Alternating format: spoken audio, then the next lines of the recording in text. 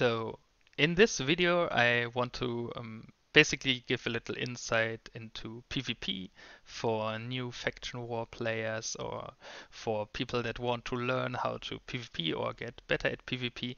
And I will talk about some uh, strategies that are used in PvP in those fights and uh, how to execute them.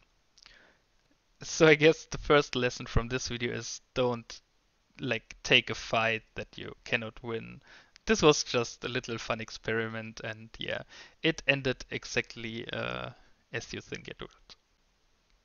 So Rifter versus Imp is just not a matchup.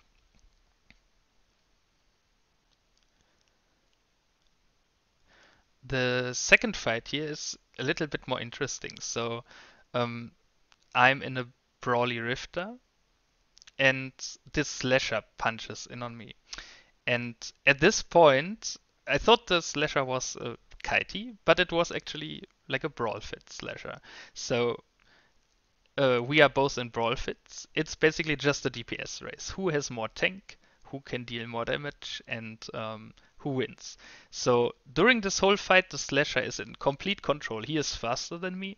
He, he has a web. I have a web. He has an afterburner. I have an afterburner. So he could disengage at any time he is dictating the range, orbiting me very closely, and like during this fight, I make a lot of mistakes. So uh, it starts with me capping myself out, kind of, because I just wrapped way too much. Um, and yeah, I'm running very low on cap here, and I realize now that I'm not hitting the slasher that good um, if he is orbiting me at 500.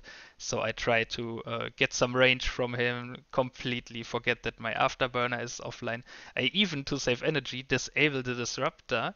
And here, this is the uh, moment where I actually win, is I have enough cap I have the like I align to a station. I basically slingshot him a little bit, uh, to get better tracking, and um, the Rifter has just more tank and damage than the Slasher. So yeah, good fight. Um, a little messed up from me, but yeah, good fight. Very brave. So this one is funny. So I hunted this Caracal with my autocannon dual rep Thorax, and finally I managed to catch him with a little bit of trickery. So uh, but now he is in a T1 cruiser. I'm in a T1 cruiser with autocannons. How do I actually win? So first thing, I make sure he is tackled. After he is tackled, I uh, soon realize that he is dealing a lot of damage to me. So um, if you are fighting like rocket boats uh, or like in this case heavy assault missile caracals, make sure to pick up some speed. So once I get a little bit speed here, actually his hits, uh, I think he got like a 700 or 800 damage hit, and they dropped down to like 300 damage or something. So um, yeah, by dragging out this duel a little bit, like I'm active tanked, so the longer the duel continues, like the more advantage I get. He cannot break me. I over rep. Uh, which means I waste way too much capacitor and nanite charges on my repair. Um, it's a little bit unnecessary, but uh, yeah. It's a lot to manage during those fights, so everybody makes mistakes. Um, yeah. So yeah, good fight to this guy. He told me he was not in a PvP fit. Uh, if he had a web, actually, he would have hit me a lot harder, and maybe the fight would have uh, looked different.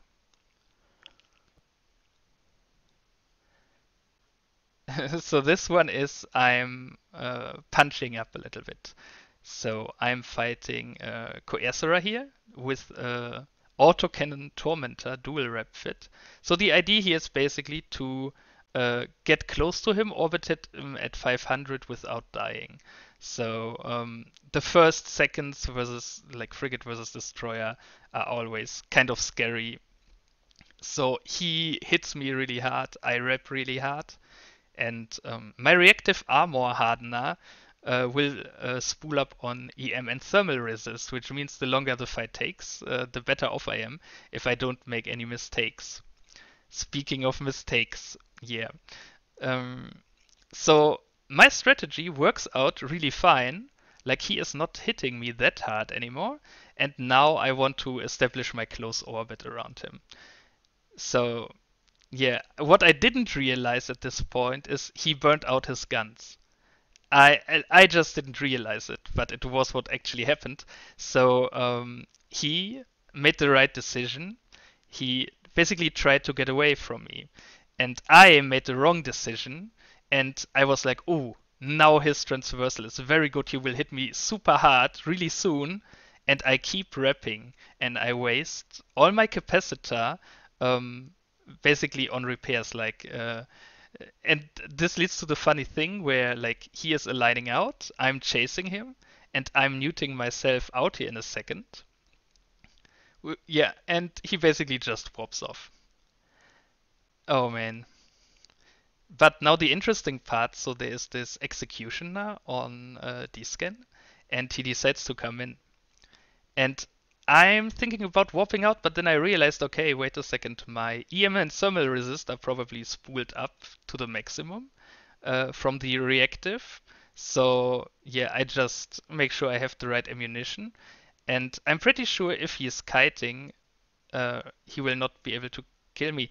But yeah, now my drone window has a weird bug, so I cannot launch my drones, um, which, yeah, I don't know.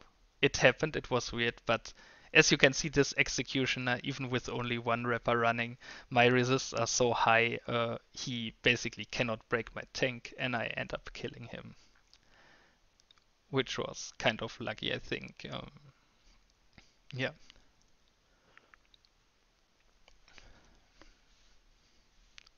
Good fight. So... Oh yeah, uh, this one, like, it's a condor, I'm in a breacher, and we basically have the same strategy is um, like shooting the other party with rockets close range. And um, I have javelin scorch loaded. Uh, I know this will be good ammunition to hit him, and I don't know what he has loaded, probably fury or something. But uh, yeah, like there's no way the condor can uh, like he deals a lot of damage to me, but I have the better tank, so I win this fight. In this engagement, I got a little cocky. Uh, warping into three Tristans, um, I'm lucky that the first one bailed actually. So now it's one versus two. And yeah, my idea is basically to uh, stay as long as possible with the dual reps and maybe kill one of them and uh, then be able to tank the other one forever. So yeah, as you can see, I'm very focused on my reps. I don't realize um, that like my autocannons are not applying good to the Tristan. So like he, like we are orbiting each other. Um, like my weapons uh, are affected by the tracking and his drones are not really affected by that. So like I lose over time a little bit, and uh, but it would still be fine, right? Um, but I end up making some more mistakes, so I uh, need to manage the range. I need to manage my cap and all those weapons, and um, yeah, I end up here burning out. So I set auto reload uh, on and off again, and uh, yeah, I burn out my repper. And at this moment, the fight was basically over, and I didn't even manage to kill this one Tristan. So, yeah, good fight. Um, I think it shows very well that those fits are complicated sometimes. So this is another interesting one. Um, this is basically a kite rifter. So I punch into this Punisher, and kiting is basically a different strategy. So um, you basically hit your opponent without them being able to hit you. So uh, I'm like the Punisher. I'm lucky it's an afterburning Punisher, so he is way slower than me, and I can just uh, orbit him. Because my weapons rely on tracking, I instead of orbiting, I keep him at range, and yeah, I can just uh, yeah shoot him from range now. Um, I'm way faster. There's no way he can run away without me uh, making some mistakes. So kiting is like a very good uh, strategy, but as you can see, the fight takes really long. Like um, kiting ships, they don't have like the longer range weapons don't uh, have that great DPS and you sacrifice a lot of like power grid or CPU to fit them. So usually uh, kiting ships are uh, like their tank isn't that great and they are very squishy. So um, if you get caught while doing this, uh, you are basically dead. And uh, yeah, the fights may take longer. So if this Punisher had some friends in system uh, that could help him, as you can see, local is almost all blue. Um, yeah, I probably would have needed to disengage from him before I could kill him. But yeah, kiting like Condors can do it really well. Um, but there are a lot of ships, and um, some Ewar, like a Maulus with damps, is really good as well. Um, because your opponent is not even able to lock you up, so it's just a painful death. This is another kitey fight. This time I'm flying a Dragoon with artillery versus a, like a, what is it, a Corax? And it's a rocket Corax. So he has very little range. He has a micro warp drive, but as you can see, he cannot really catch up to me. So he starts killing my drones. I basically just need to micromanage my drones a little bit, of course, because I'm not the best pilot. I make some weird mistakes and not use the hotkeys and stuff. So I myself have a lot to basically improve. And yeah, so he realizes basically like this fight is not going his way uh, his strategy doesn't work out.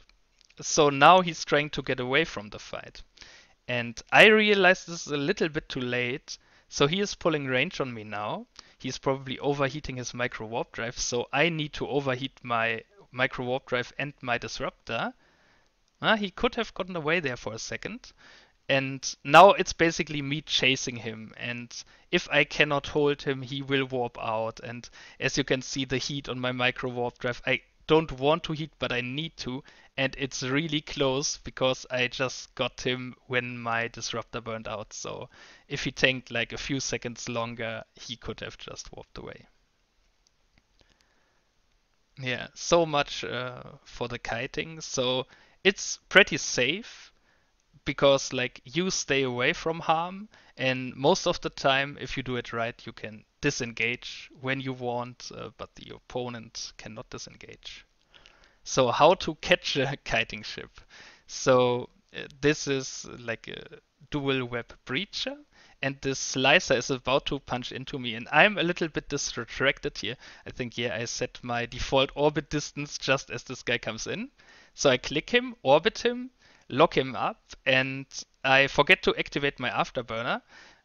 Um, but yeah, I managed to just get it in time, and you see already in those two seconds he's almost out of my scram range.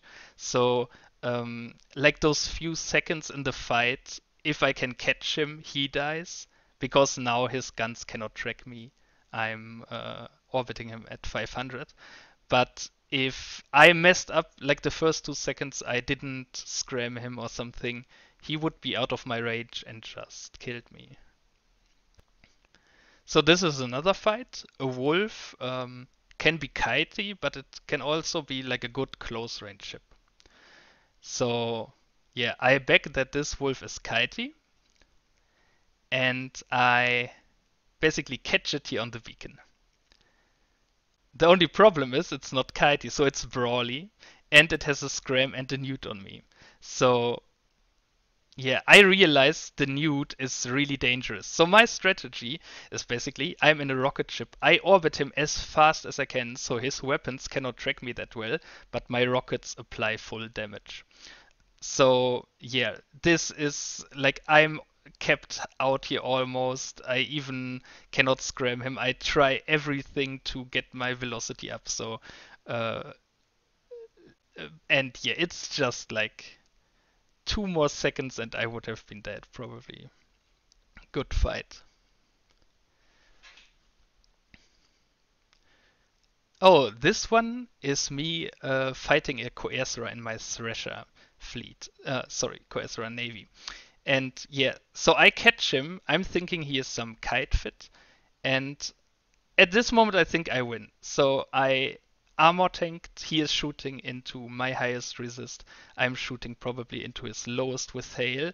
Um, but I don't realize that he has neuts on me. So what happens here is he neuts me out. Not only lose I all my control, but I also cannot rep. So like he disabled the advantage that I had and killed me. Um, the next fight is a little bit different. This is a micro warp drive Coercerer, so he is kiting, but I know my Thrasher is faster. And I will try to catch him, and if I catch him in orbit 500, he dies. But if he kills me before I do that, uh, I die. So as you can see, this is a very close fight.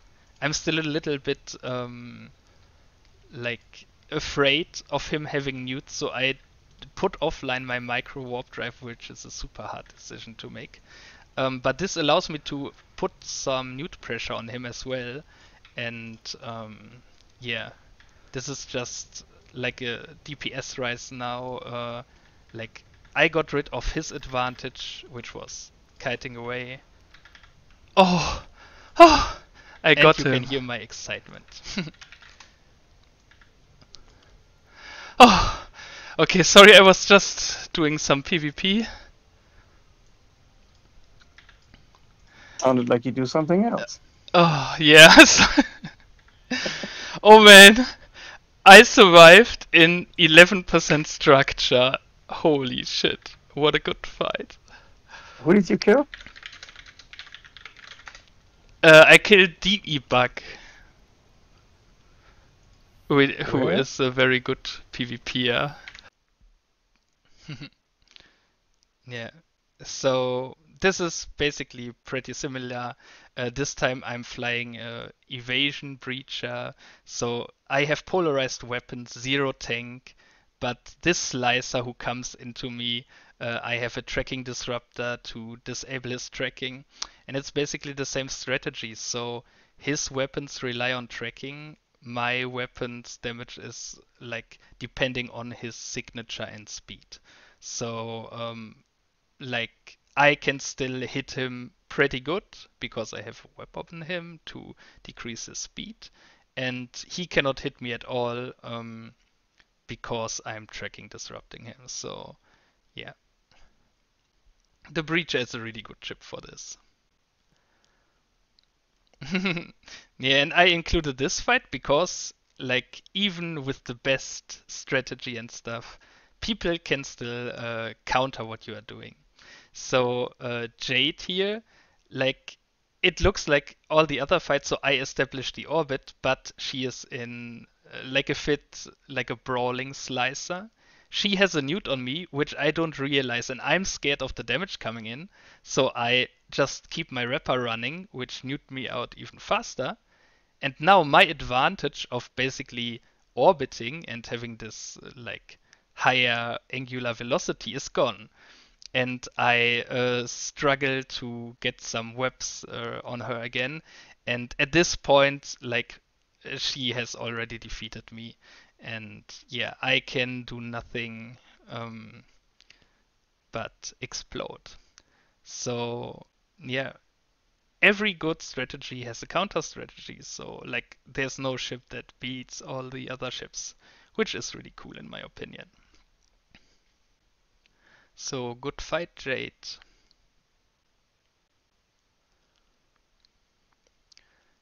Oh, this is a cruiser. This is my Scythe fleet fighting another Scythe fleet. And I basically know the moment he comes in that I'm going to win this fight.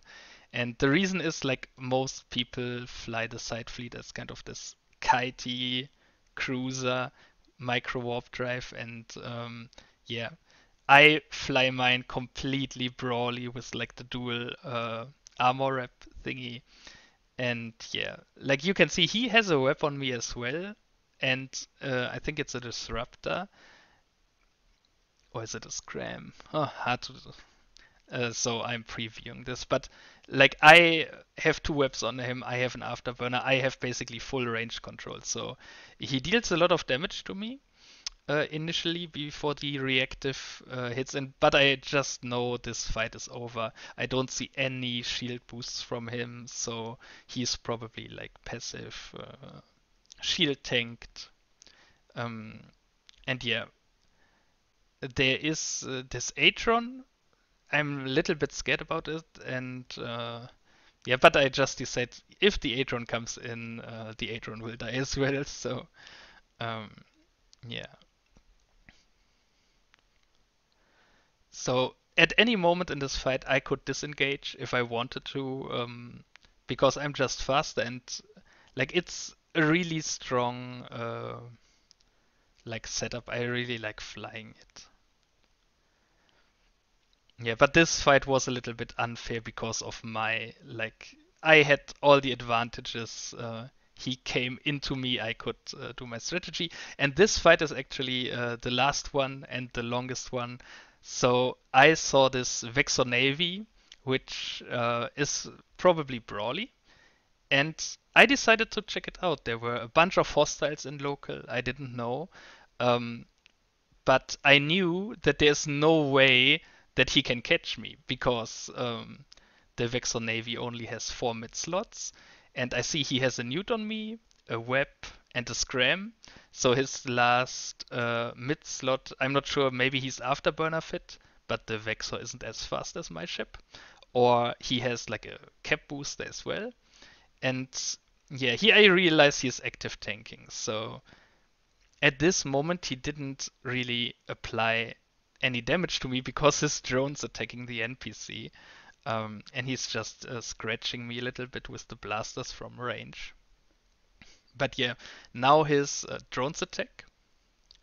And like when I punched in, I hovered over the drones, I realized it was augmented drones. So like I knew it would be a serious fight. And um, yeah, I just tried to repair his damage, um, like keep my cap up. I realize, uh, like, I don't have the right weapon system to fight a cruiser. The rapid lights are really good against frigates and destroyers, but against cruisers, the heavy assault missiles would be better. So I realize I cannot break him, but he cannot break me as well. Like, um, my capacitor is still doing fine. So, yeah, we basically have a pretty similar fit. I'm just relying on the rapid lights and he relies on his drone damage. So yeah, I could have done some other things here. So I decided to load into explosive um, damage with the idea that I'm shooting phased plasma and have hobgoblins on him. So if he runs a reactive, he will uh, basically have very little explosive resist, but now I realize, ooh, he has a micro warp drive. Um, because he catches up to me really fast. So um, he probably has micro warp drive, scram web, and like a cap booster in his mid slots, or maybe a battery. And yeah, I just like I'm waiting. There are some blues and local showing up. Maybe somebody is coming to help me, and I w- just want to like keep this fight on a little bit longer. Um, see if I can break him now with the explosive damage. But yeah, he is um, just bait tanking me here. I think. Um, But yeah, you can see like he dipped into really low armor and then he completely wrapped up again with two rep cycles. So like um, I wasn't sure if he was using an ancillary armor repper, but at this point I figured out, wait a second, if we both rep and uh, like it will be uh, like an issue of who has more cap charges basically, or like more energy to rep. So like the strategy like is really interesting. Um, and I still know I have the upper hand because I can decide the range with my uh, dual web setup. So um, as long as no, I don't know, a curse or something mean comes in, I'm pretty sure there's no way I'm going to lose this fight. And yeah, here I myself run a little bit low on cap. And um, yeah, my Ensil charges run out. I reload into EM, which was the worst decision ever, but yeah, Rapid Lights. And here something interesting happens. So, um, oh no, he catches up to me again. I slow him down so he doesn't really get that great into blaster range. Because at this point my um, tank is struggling a little bit and I uh, don't want to waste much cap to rep. I'm not thinking at all about defanging him. I have done that a couple of times and it never worked out for me. And here I realize he pulls his drones. And in my mind, it's like, ooh, he is pulling his drones, which is basically his main uh, damage. So he wants to disengage. So I burn back into him and basically secure tackle on him. Because in my mind, it's pretty clear that he is running low on cap boosters or something. Like he cannot continue this fight. Why would he pull drones? Because I didn't shoot them. And now he starts defending me. Uh, which makes me even more confident in like, okay, he wants to like negate my damage and um, he wants to get rid of my drones. Now he pulls his drones again and uh, yeah at this point, I have a little bit of hope that I'm going to win. And yeah, I'm just keep fighting. And uh, now I realize, holy moly, I myself have run out of cap boosters, right? And he has a neut on me. And um, yeah, I'm recalling drones and I need to get out as soon as possible before I'm muted out. So yeah, I managed to get out of his scram range and just warp off a great fight and yeah. I hope you enjoyed the video. Join the Tribal Liberation Force, Minmatar Militia. Let's go do some PvP.